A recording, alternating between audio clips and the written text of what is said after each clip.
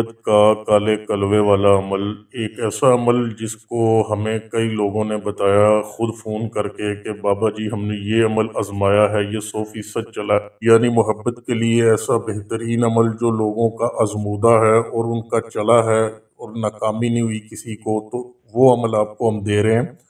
इसका तरीका अच्छी तरह से समझ लें, इसको आपने नौचंदी यानी अरूज माह में करना है अरूज माह में किसी भी दिन कर लें।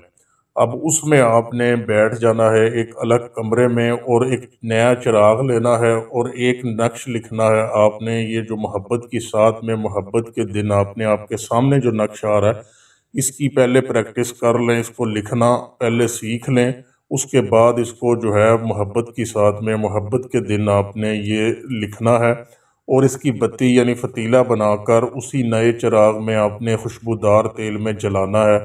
सात बखूर अगरबत्तियाँ कुछ भी हो, वो जलते रहना चाहिए। खामोशी हो, तन्हाई हो, बिल्कुल अलग कमरे में आपने मतलूब की तस्वीर सामने रखी हो।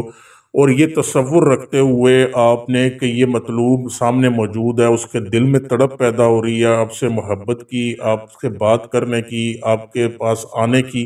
तो ये सारी चीज़ें जो है आप अपना तस्वुर में रखें कि ये हो रहा है और आप नज़र आ रहा है आपको कि ऐसे हो रहा है मतलूब के दिल पर। तो इस तरह से आपने इसकी बत्ती बनाकर जो है वो चिराग में जलानी है और चिराग का जो रुख है वो आपका मतलूब के घर की तरफ़ यानी उस तरफ़ हो जहाँ पर मतलूब का घर है।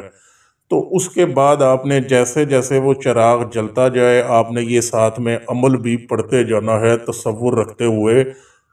अमल का जो तलफ़ है वो आपको हम पढ़ के भी बता देते हैं। काला कलवा, काली रात, काला भेजूँ, आधी रात। जब वो आवे आधी रात, तन मन लागे सारी रात, कालवा बीर फलानी को बैठी को उठा लाओ। फलानी की जगह यानी नाम और मतलूब का जो है वो नाम और वालदा का नाम लेना आपने।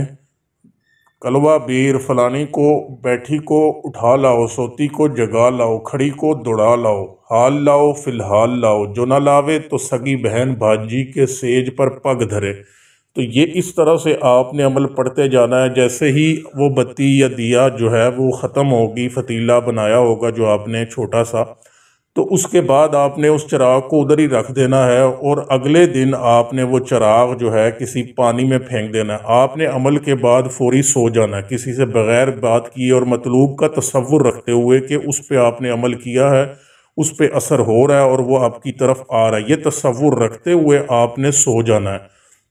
अगर अमल में आपको शक हो या यकीन ना हो कि पता नहीं अमल असर होगा या नहीं होगा और दौरान अमल भी तस्वुर ना हो तो फिर आप अमल मत करें। इस तरह नाकामी होती है। तो जिन्होंने भी अमल किया है, वो पूरे तस्वुर के साथ, यकीन के साथ अमल किया है तो सौ फ़ीसद चला है। इस तरह से आपने सात दिन ये अमल करना है।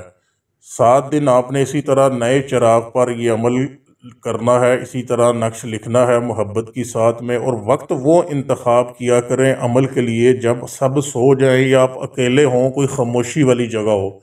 तो वो जगह और वक्त वो इंतखब होना चाहिए अमल में कि आपको कोई तंग ना करे, कोई शोर शराबा ना हो।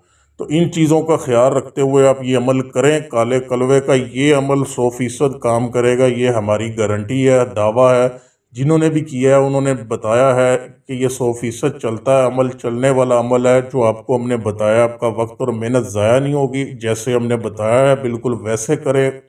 और अगर आपको अमल से मुतलिक कोई बात समझ नहीं आ रही तो वो हमें कमेंट कर लें, उसके बाद करें, ताकि पूरी तसल्ली के साथ अमल करें। हम आपको जवाब देंगे पूरा और मुकम्मल रहनुमाई भी करेंगे इसमें इन